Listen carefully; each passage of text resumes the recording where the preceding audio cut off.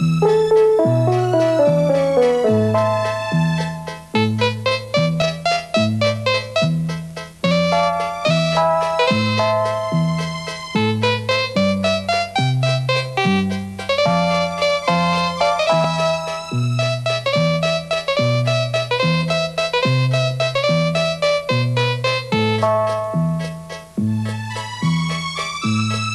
-huh.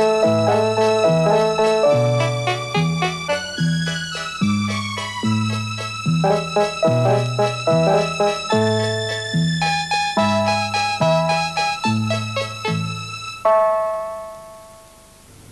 Gott, liebe Zuschauer. Mai, heute gibt's etwas Feins.